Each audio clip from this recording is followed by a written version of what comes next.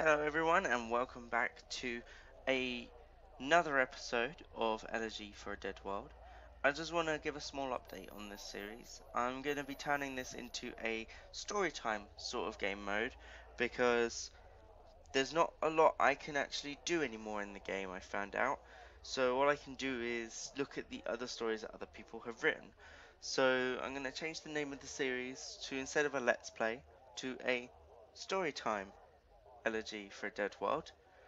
And we're going to browse different people's stories and stuff like that which I think will be quite nice. So let's move up here first of all. Let's, let's start reading some really let's do a recent one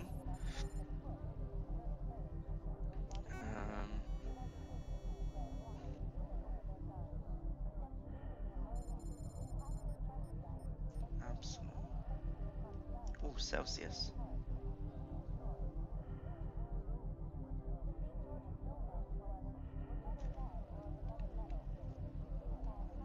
Hmm. We were looking for a title that really, really shouts out at us.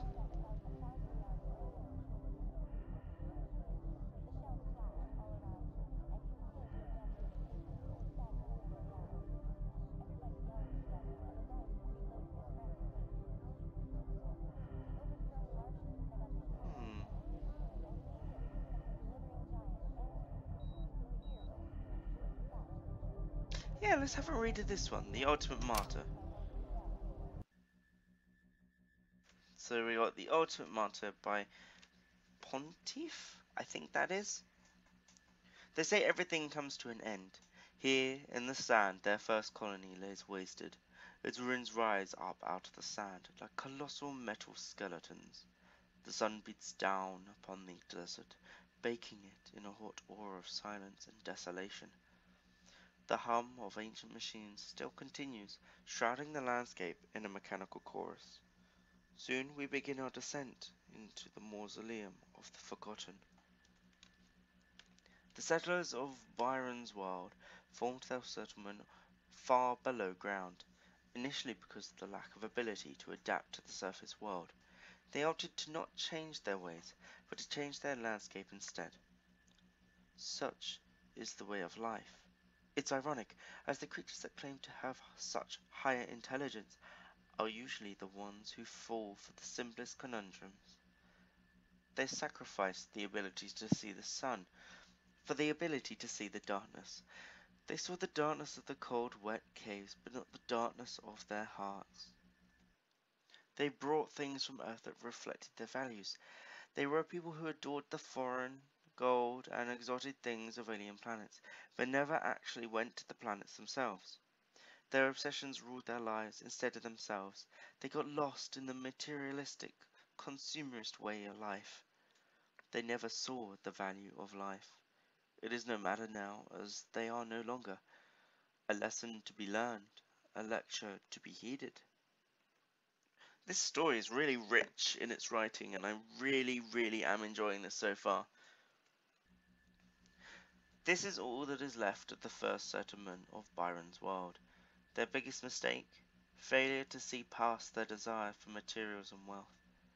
Their houses and buildings stand as solemn monoliths, serving as a grim reminder to anyone who sees them.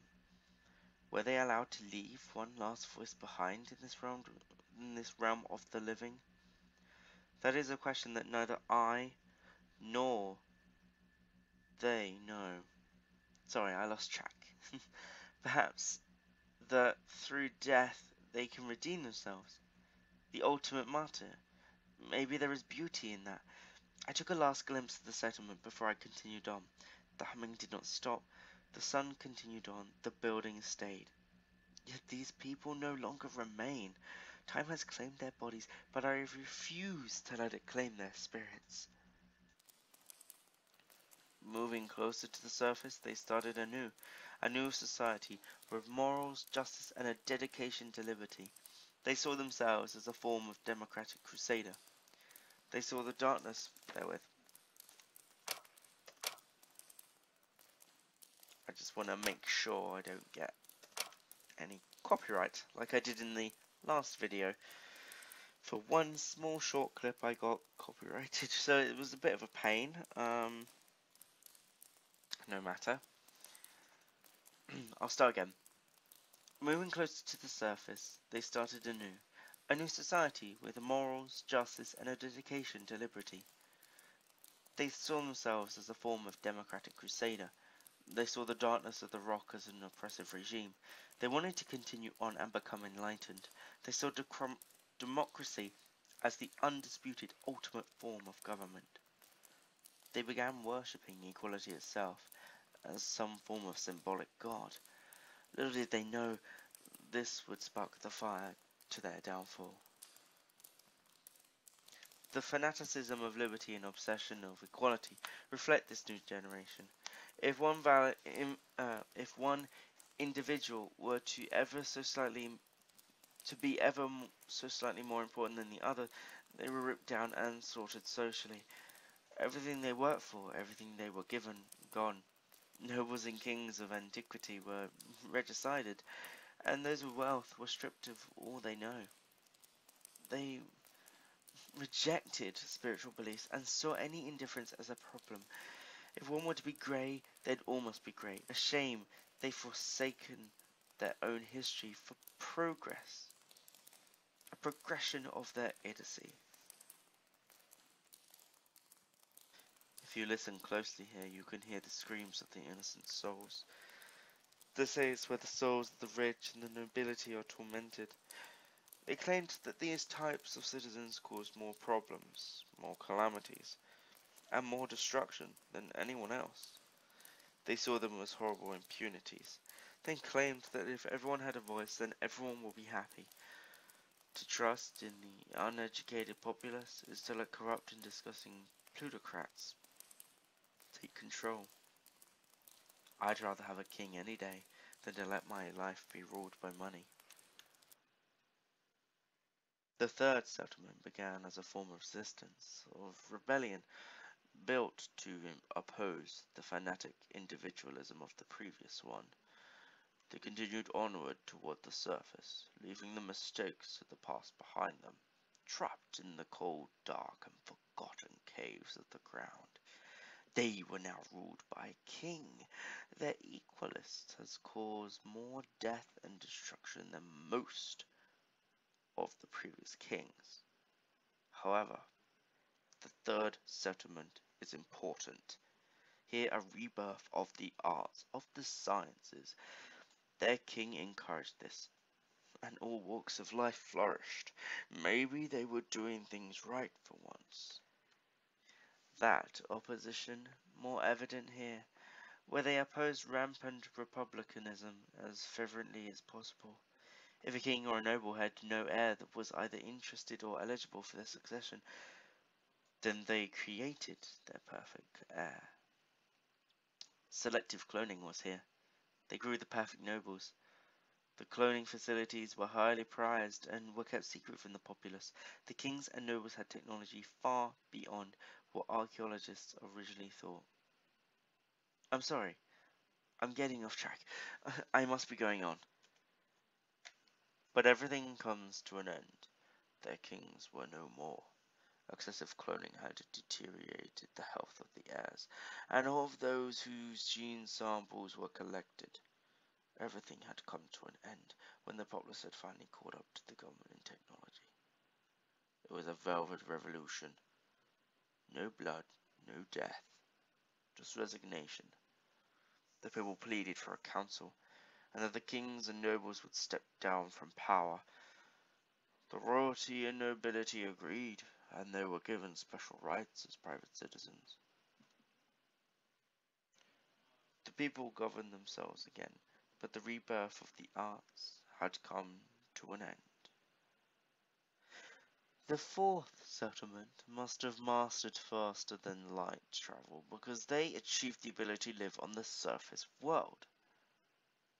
Little is known about the fourth world, but as a traveler and as a scholar I will bring to light anything I find. This snowman was a stark contrast to the surrounding non-natural structures. With the dark sun in the distance, this landscape could be described as a frozen hell. The buildings looked war-torn. Perhaps invaders from space? Unlikely. These buildings look like they have been damaged from primitive explosive ballistas. Perhaps some kind of civil war. Either way, the snowman looks far younger than the buildings. Therefore, it must have been built during or after the collapse of the buildings. They are sentient creatures too, and I'll assume that a child built this. Even in times of war and strife, the innocence and emotional, emotional tendencies of a child can do wonders on the soul. Onward. But everything must come to an end. But must everything come to an end? Sorry. A device used for possible uh, for possible space travel. It looks like some sort of cannon. I wouldn't doubt that if this black sun had anything to do with the cataclysmic events that occurred here, then an exodus to the stars that is not. Sorry, I wouldn't doubt that if this black sun had anything to do with the cataclysmic events that occurred here, then an exodus to the stars is not an unusual answer. Perhaps the sun is an enemy or an ally. Either way, the scarce amount of artifacts here for me to analyze is quite irritating. They leave me with more questions and little answers. Hopefully these answers come to me soon. I looked at the device a bit more, and I was correct. When activated, it would serve as a form of launching station for some kind of primitive long-term space shuttle. However, there is something very, very odd this platform lines up directly with the black sun and angled towards it too. Were they trying to go to the black sun?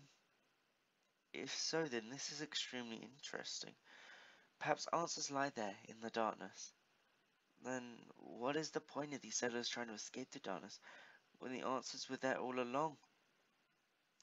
Finally, at the end of it all, they leave me no answers. Were they exterminated? Did they go to the Black Sun? Are there other settlements around? I do not know, and I may never know. Like I said, when I was leaving the first settlement, these people deserve one last attempt at redeeming themselves. They redeemed themselves by leaving lessons for all to study. Lessons of life, lessons on how to act and how not to act. Maybe they found redemption in their new paradise. I will not know. However, they succeeded in one thing becoming the ultimate martyr. Oh, yes. I loved that story. I loved that story.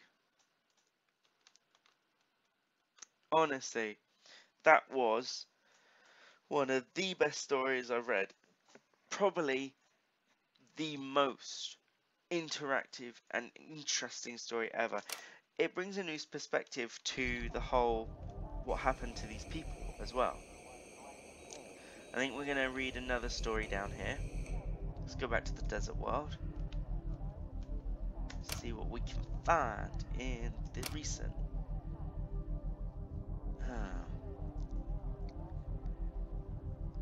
Ooh, interesting. I like it. I'll read it. So this time we've got a book, an interesting book so far that's called E. This is for you. Written, written by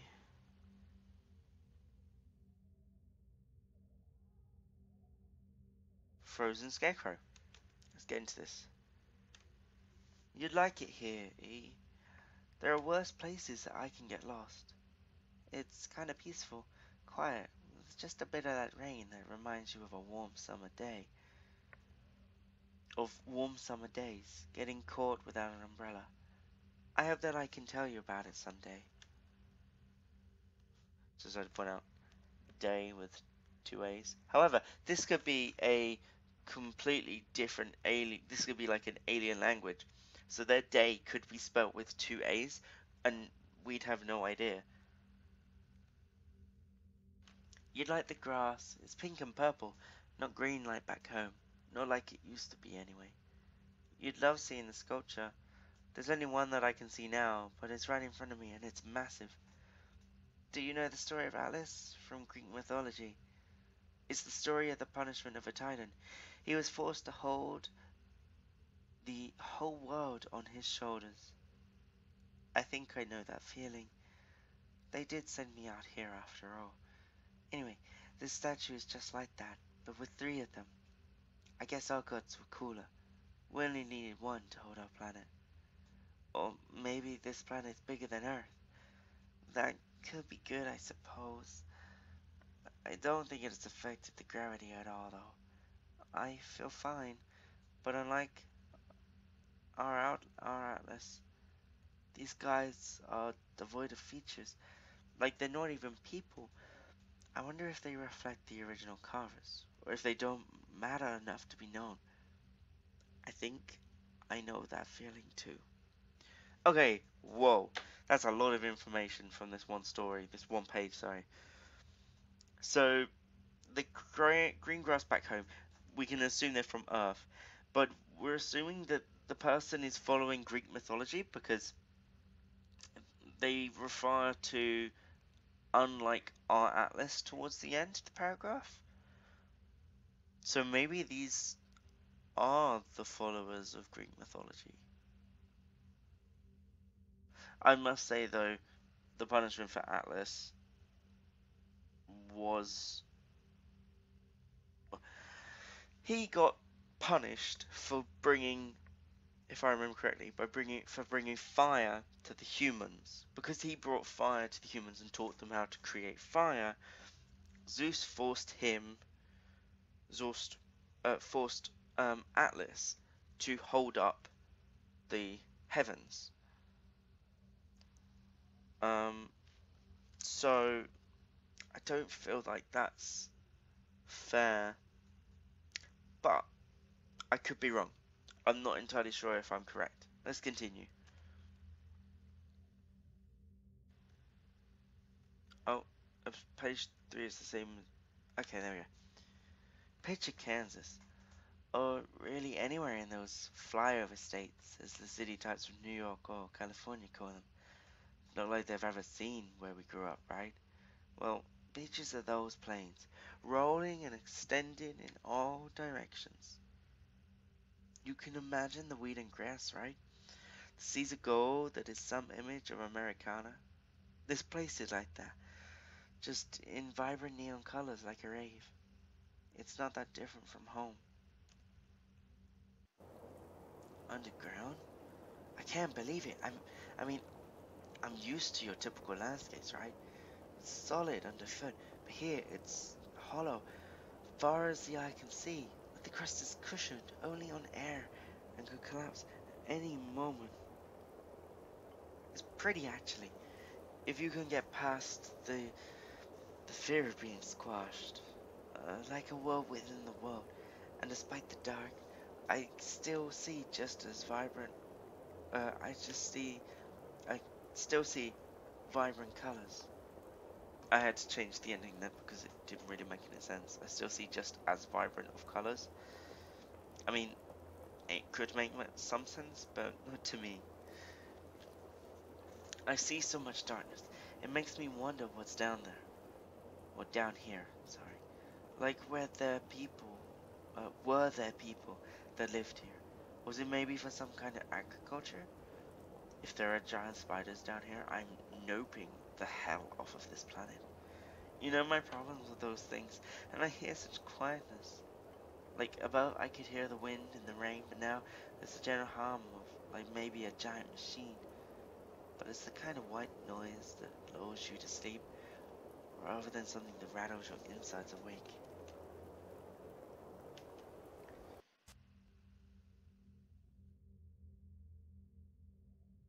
It's easier to imagine us living here than in the big cities. God, I hate that life. The traffic, the people, the noise. It's all such a drag. I know, that's where work is. But in this day and age, we could work remotely, go wherever we wanted, meet new people every day, explore new places. Think of the adventure, or at least the break from monotony.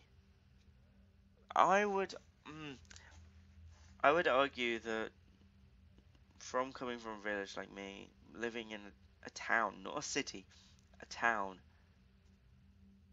is more preferable. I think as I grew up, I'd want to live in a village, but my yeah, my childhood was quite boring. There wasn't a lot to do outside. weren't a lot of friends because it was mainly people who had kids ended up being far further away or stuff like that and yeah, I would rather live in a town.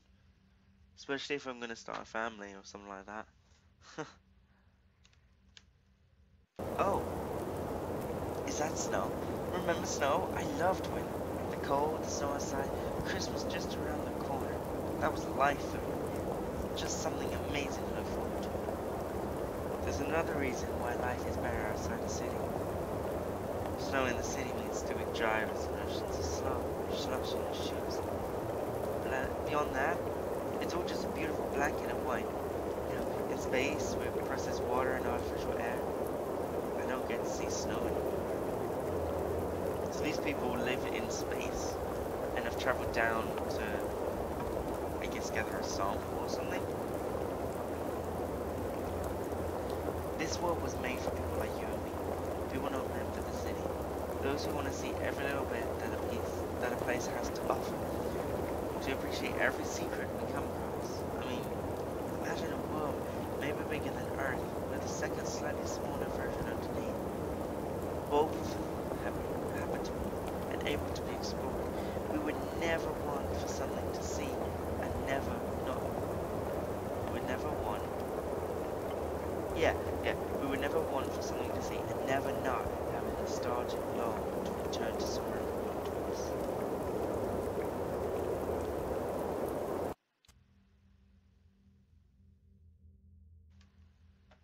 Just as when we first really started to get to know each other.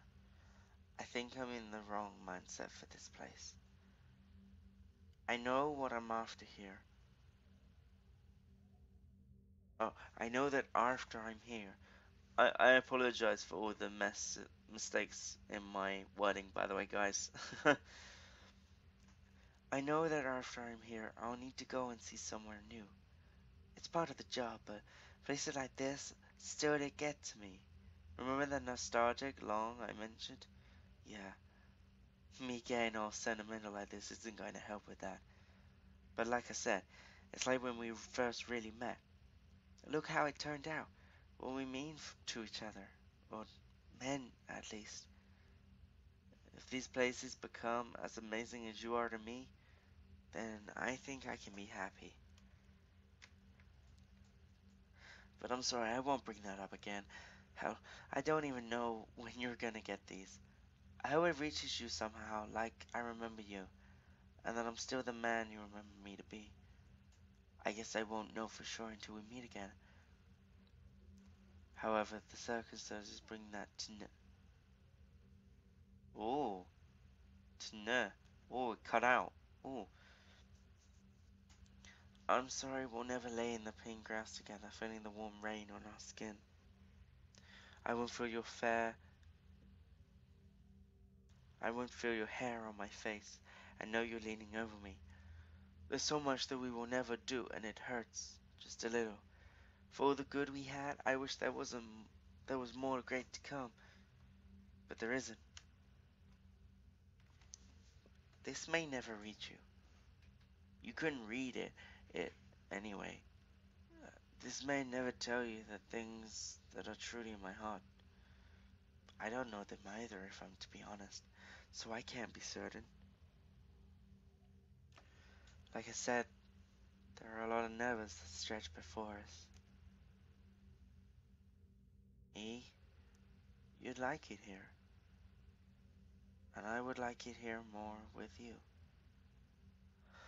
Oh, wow, okay. Wow, so this is about a couple. Um, male, female, female, female, female. I I can't tell. Um, ooh, but that was really strong and emotional. Bar the spelling mistakes, and grammar mistakes. That was a really strong story. Um, emotionally, that's that's really hit me. Um, and I don't really know why. I mean, I guess it's the wording, but I'm gonna give that a comment a commendation. Um, oh, there we go. Because uh, it really does deserve it. We're gonna end story time here. We're gonna go back to the portal. We're gonna end story time here. So this has been story time. I don't know what that was. Please, please don't ask me what that was. Um, oh, anyway, I will see you guys in the next episode of Story Time. Bye bye for now. Bye.